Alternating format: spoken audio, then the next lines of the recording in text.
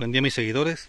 Bueno, como supongo ya han visto, tenemos un evento con Yara, un evento de cosecha, el día 25 de noviembre de este año 2022. Es un evento en el cual se va a cosechar la parcela que está ahí al fondo, que se dio el tratamiento con, con el Maze Boost después de la granizada, y esta parte que sería el testigo en la cual no se dio ningún tipo de tratamiento foliar. Pero como se pueden dar cuenta, miren, la rapiña está todo lo que da. Vean. Estas nada más son de anoche. Todas estas hojas que se ven en la orilla. Miren. Prácticamente estos surcos primeros ya se los llevó la gente. Vean. Así es que por eso decidimos adelantar la cosecha de esta parcela, tanto de la demo, que está aquí al fondo, esta pues, esta es la demo, como esta que es el testigo. ¿Por qué? Porque para ese día 25 pues prácticamente ya no va a haber nada, nada que cosechar, ¿verdad? La gente pues está robando más de, más de lo normal, vean. Aquí es para que no hubiera hojas, ni aquí en la orilla. Sin embargo, tristemente pues está muy fuerte esto de la de la rapiña aquí en Querétaro. ¿Y qué vamos a hacer? Pues vamos a cosechar el día de hoy. Vamos a medir las dos parcelas, tanto la del testigo. Esta es la parcela del. Entonces, esta es la del tratamiento de Yara. Después de las fuertes granizadas fueron tres, si no más recuerdo, tres o cuatro. Vean, la rapiña, les digo. Se le aplicaron 5 litros de maizebus por hectárea. ¿Para qué? Para que se alivianara. El maizebus también sirve como un desestresante a la planta. Obviamente también hay estrés por granizo, por eso es que se aplicó. Y este es el testigo, al cual no le aplicamos nada. ¿Cómo le vamos a hacer? Bueno, vamos a medir la superficie del testigo, la superficie de la parcela del tratamiento. Chéquense. Ya hasta la gente ni les caben, aquí las dejan tiradas. No, hombre, está difícil con estas personas. Les digo.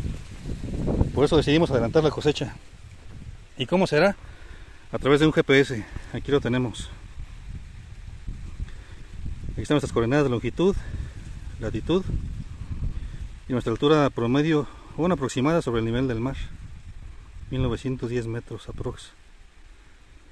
Vamos a hacerlo con el GPS porque luego no faltan las personas que dicen, ah, pues es mucho, no creo que te esté dando eso, etcétera, etcétera, etcétera. Y pues bueno, pues comencemos a, a medir la superficie.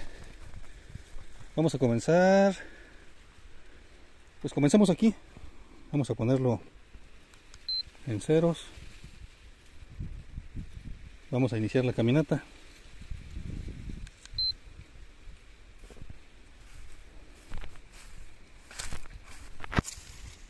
Y ahorita al final de, de la caminata les mostramos lo que sería la me va marcando eh lo que sería cómo se llama el área de, de esta parcela. Ya tenemos la primera área son 4164 metros cuadrados. Aquí está. Vamos con la segunda. Aclaro esta es la parcela testigo. Vamos con la del tratamiento. Ya tenemos la de la parcela del tratamiento 13.094 metros. Aquí está. Ya tenemos la primera tolva llena. Aquí del maíz que fue tratado con el maíz bus de Yara. Tolva hasta el tope. Vamos a ver el grano qué tal se ve che polvadera.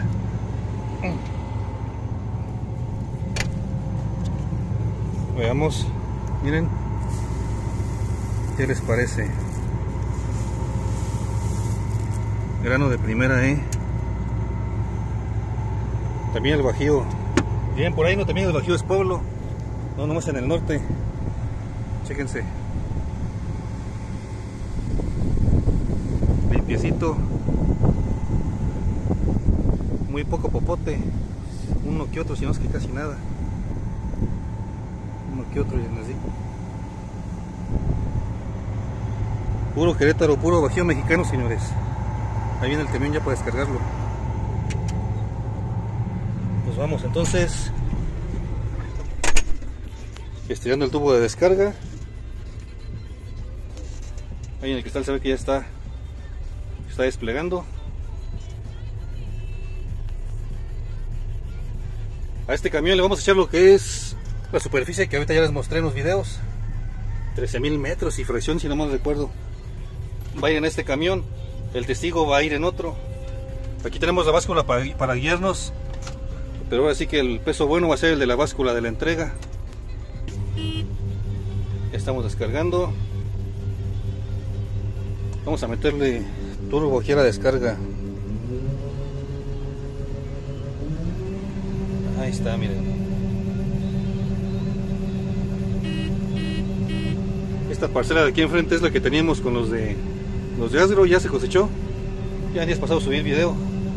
17 fracciones anduvo dando la, la parcela, unas 16. Bueno, si quieren verlo ahí, siguen mis videos y aparece todo esto. Está muy sucio el cristal, pero pues ahí se el grano. El grano muy, muy limpio. Cero cabezas de lote, muy poquito popote.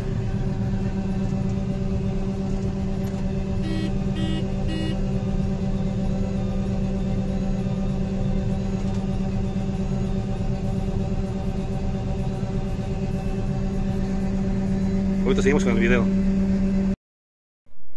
Y pues bueno, desafortunadamente ese día se me terminó la pila del teléfono. Más bien me quedaba poca pila y no pude seguir tomando videos. Mejor tomé lo que fueron imágenes. Esta fue la parcela, la parcela testigo. Ahí tenemos el área y ahí tenemos lo que nos dio al final de la cosecha de esa área.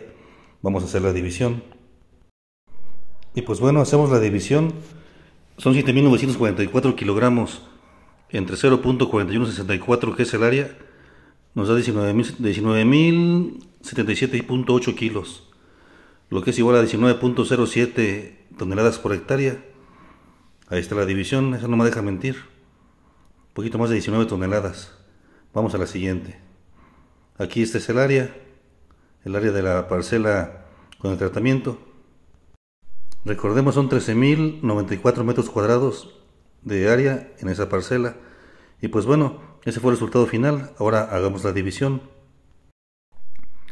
y son 24.105 kilos entre, entre 1.3094 hectáreas, nos da 18.409 kilos por hectárea, bueno, kilogramos por hectárea, que es lo mismo que 18 toneladas, 409 kilos. Como pueden ver, pues sí, sí hubo diferencia de una a otra. ¿Qué fue? Pues no sabemos a ciencia cierta qué pudo haber sido. Quizás en una cayó más granizo que en otra, Quizás en una parcela la gente robó más que en otra, no sé. Pudieron haber sido varios factores, pero a pesar de eso, de granizadas y todo esto, pues como pueden ver, estamos arriba de 18, casi 18 y media. Y en otra estamos pues, por encima de los 19. Pues ese es un muy, muy, muy buen rendimiento. Espero que les haya gustado el video. Si les gustó, suscríbanse y denle me gusta.